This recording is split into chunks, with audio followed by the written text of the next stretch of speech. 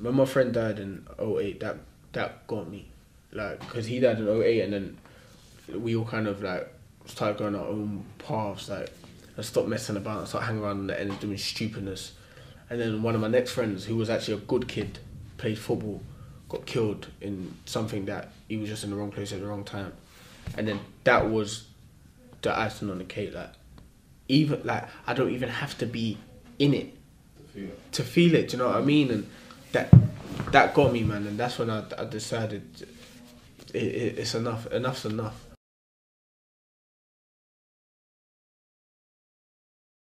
Alright, so first and foremost, good afternoon, Mr. Comfy. Good afternoon. How's it going, bro? I'm good, bro. I'm good. Yeah, we were, we were just talking about um, interviews. Yeah. And um, one thing I wanted to say about your music, I don't know how you feel about it. Do you feel like your music's kind of like poetry? Because when I listen to your lyrics, it does feel poetic. When you're not doing the bragging, Yeah. it feels like you're doing a bit of poetry in that. Yeah. How, how do you see it?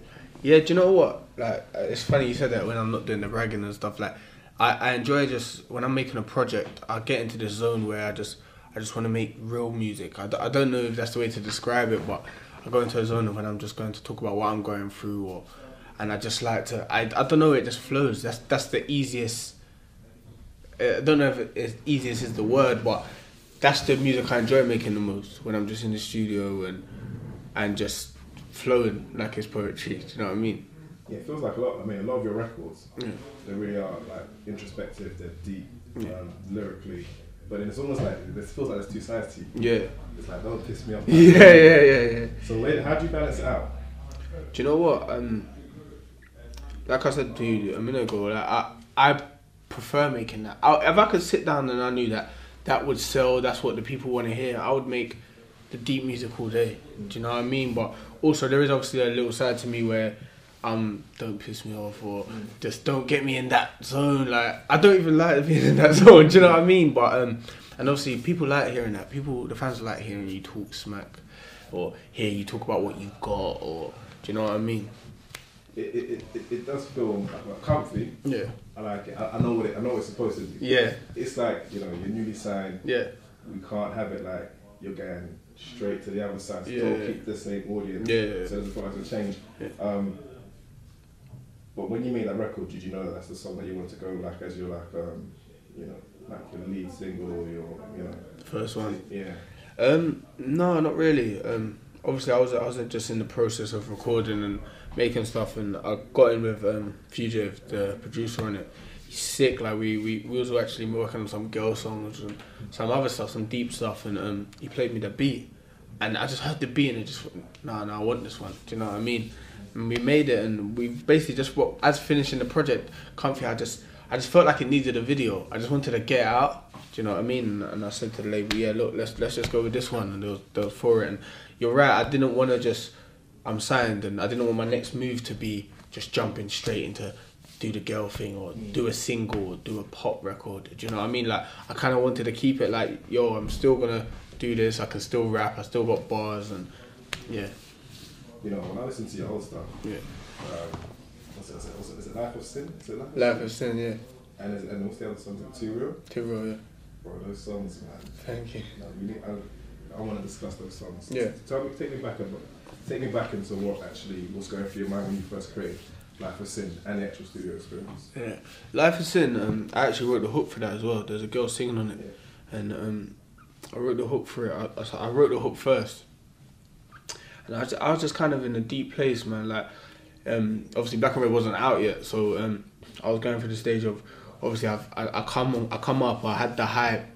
Um, that joint played dirty. I had that massive hype, and then I dropped the mixtape, and then it got to the point where like I just wanted to make music. Do you know what I mean? And I was very frustrated.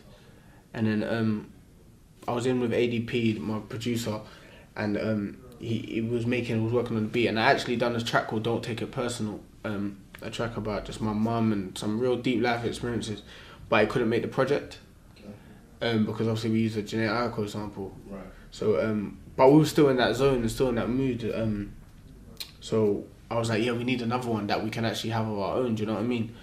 And then he made the beat, and then I just, I just blacked out. I didn't write that one. I just went in and I just blacked out, and I was just literally just everything I was saying was just literally what was on my chest. and um, yeah, that's how that, that's how that one come about. And then I got in Kai, um, sick sick singer. She's from Birmingham, and I just asked her to come down to come and sing it. I was like, I need you to sing this one. Like, um, I feel like you can you can deliver this the best. And she's not even that big or anything, but I just I. f- Do you know when you hear someone sound like I remember she put a track on SBTV and I was like, shit, I need her for something. And when I find it, and Life was Still was the one man, and she come and just killed it. So yeah, Yeah, with those type of records, you really are touching people. Yeah. You know, um, let's talk about Too Real. yeah. Tell me a bit about that one. Um, that that one for me was was a deep one. Um, I was, I was going through a bit of madness on, with my estate. Um, one of my one of my little youngers got stabbed up, nearly got killed, and um, a lot of a lot of the other youngers ran off and left him, and um, it annoyed me because I remember growing up and obviously you know when you go through this stage from an estate you think you're bad and but in my generation in my group we all kind of rid for each other do you know what I mean? And we all kind of we, we wasn't bad boys do you know what I mean? Like no we wasn't bad boys but we had heart you know what I mean we wouldn't leave each other and that really upset me and um, obviously he nearly died and then it made me just think like that that's how I what made me actually made me want to do the song and it and it made me think uh, I need to say that I need to not not for just my ends or my people, but for everyone. Like if you're gonna if you're gonna act like that, if you're gonna act like you want to be street or whatever, go f- not not go fully with it, but this is the things that come with it. Do you know what I mean? And and then I said, well, maybe I'm too real because maybe I'm too real to be thinking like that. And then obviously a, a, a lot happened. Um, another boy I grew up with got killed when I was in Australia and um, that yeah, it was just it was just a lot, a lot of that going on at the time. Do you know what I mean? And it just had me in a dark place. So that's where I, that's where I felt to let that out. And then um, had a lot of people asking me about Krept and Konan and Krept and Konan's left you and da da da da da. But I felt like I needed to let them know that it's it's it's not like that. It's more like these are my brothers. Like beyond music. Like do you know what I mean? We we talk every day. We see each other all the time. We don't even talk about music every day. It's like that. Do you know what I mean? Like so I feel like I just had to get all of that out in in in Too Real. It felt like it was kind of questioning your circle, your surroundings. Yeah, yeah, yeah. It seemed like there's that transition where, like, there's a code, but then the actions hasn't backed it up. Yeah, yeah. And the repercussions of it. Um, how do you get over that? Because I know music's therapeutic, but you know Yeah. those those are shocking things that happen in life. And just because you know we're kind of from the states and we're black, Yeah. it's almost like we get on with it. But how do you actually process that type of kind of trauma? It's like I just, I just think it's a thing that you just gotta learn from. Mm-hmm. Like, do you know what I mean? You just got you just gotta learn from it and and like I said, I'm I'm not a bad kid. Do you know what I mean? I'm not a bad boy. Do you get me? I've I've you go through the stages like I said of you wanting to think you think that's the cool thing to do. You think you're invincible? You think you're invincible, like growing up in this bear review and you're out on the block and you're out and no one don't really want to trouble you and then and something like that happens. Like, do you know what I mean? And it snaps you back into reality. And I've I've lost one of my closest friends, literally my next door neighbor, um, died when I was like 16, and that made me think like, I I'm not going down that road. That's not what I want. Do you know what I mean? That kind of broke up my ends. That made it like because some of some of us still wanted to be on the roads. Some of us actually went and got a job and, and doing well now. Like I've obviously gone the music ro- road, but you're right. It, it made me think and look at everyone and see what everyone really is on with me. Do you know what I mean? Like some of your lyrics, like I mean, I remember on dependency. Yeah. I think I was like, yo, how did Yungen come with these bars? Yeah. no, seriously, it's like Yeah. It actually is. Uh, I was start, I was amazed. Like, you know, I think about working outside in the gym. the- Yeah. Like, how do you come up with? It's obviously a gift. Yeah. But how do you how do you see your process of creating lyrics? Do you know what? Do you know what? With I try to make everything have a double meaning. Yeah. Like I try to make everything have a double meaning. Like some things people don't even get all now that I've said. Like even in comfy, I say, "You and I know I'm the best. I ain't got to give you no lecture." But I feel like no, I haven't seen anyone clock. But I say, "You and I know I'm the best," as in uni. Mhm. I ain't got to give you no lecture. Got it. Do you get what I mean? But every it's like every line I think of how how I can make this mean something else as well, but actually make sense. Because before when I first started punchlining and trying to do wordplay, I would just say anything. Like I'm on the I'm on a wave tsunami. Like I would say anything, but then I thought, how can I actually make it to actually make sense? So I'm not actually just doing a punchline for the sake of it. Like I actually want it to flow where when you listen back and think, did he actually even mean that? Do you know what I mean? Let's talk about now. Like um, a lot, a lot of your lyrics when I listen to it, you do talk about trying to, you know, take care of your family. Yeah. You know, being that you're so young, isn't that a burden? Not a burden, but it's a lot for a young man Yeah. To now start thinking about, you know, Yeah. almost like I'm now really going to be looking after my immediate Yeah. family. Um, how do you deal with that part of um, being a young man dealing with those types of responsibilities? Do you know? Do you know? I've had I've had it for for a while. Like even before like the music thing, and um, obviously I'm I'm one of like six like kids. Yeah, yeah. But um, I'm like my mum. My mum obviously growing up f- lives in a council house, goes to work, grinds, and I've I've never I've never wanted that. And I remember having a conversation with her, and, and, and when I first started doing the music thing, and about when I'm I started doing well, making money, and I said, yeah, I want to I want to buy a house, and like she was a bit shocked at that. And then I remember having a conversation with her like, like, mum, like this is this is where we need to go. Like, do you know what I mean? Like, and she got it in the end, but it, it showed me that it could have just been a cycle. And I've got I've got sisters that's got kids. I've got a lot like I've got 10, 11 nephews. Really? Yeah, like so. I don't want them. I, I say to them, I don't want my nephews to grow up like that. Do you know what I mean? And think that's the cycle. Like, yeah, we've got to go in a council house. We'll get a hostel. I was in a hostel at sixteen. Do you know what I mean? Like, I was in a hostel at sixteen. You left out and moved out. Yeah, I moved out. Um, I was I, I was going for a lot with my mum. Um, even before that, and when I was like 13, 14, my mum went to Jamaica, and I was actually in my house, my mum's house, by myself. Wow. My mum was in Jamaica. Um, and she'll come back every six months or three months. I could have went with her. I'm good here. Do you know what I mean? Like, and I could have went with her, and then um, I decided obviously not to.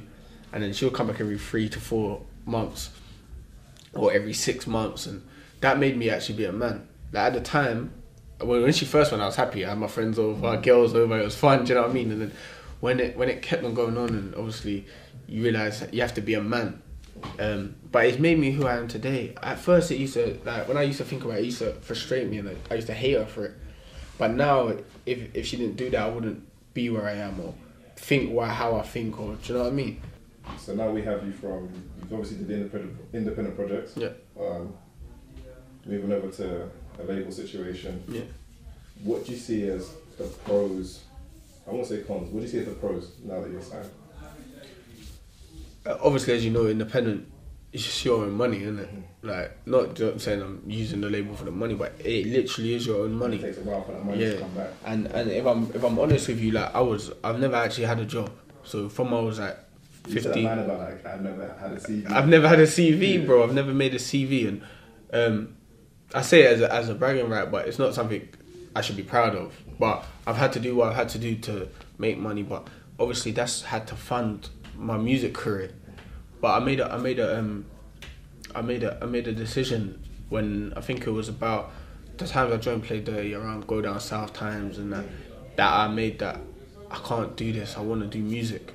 But there's times I've been doing it and been broke. do you know what I mean? And to do it, to fund it, like, and um, and I I I got to the point where I'm not gonna sign a deal for the sake of it because we had we had offers before, but I'm not gonna sign a deal for the sake of it. But when the right deal comes, I feel I feel like that's my route. Some people that's not their route. Stormzy right now killing it independent. He don't need to sign. But with me, I felt like with my journey and like like I said, a lot of people don't know. I, I, I've not lived at home with my parents since I was 16. Do you know what I mean? Literally since I've been 16, I've not gone back to my mum's house. Do you get what I mean? But I've got to balance funding where I live, looking after myself, looking after whoever I'm looking after around me, and fund music. Do you know what I mean? And That's stress. it's it's, it's stress. But like like we go back to like life is sin and too real. That's why I'm in that space.